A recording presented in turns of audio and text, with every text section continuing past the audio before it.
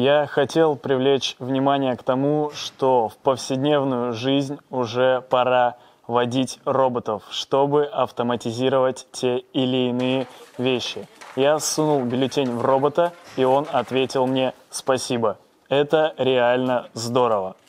Люди реагировали удивленно, кто-то посмеивался, но, в принципе, все были дружелюбны. В обычной жизни я занимаюсь проведением детских мероприятий, работа аниматором.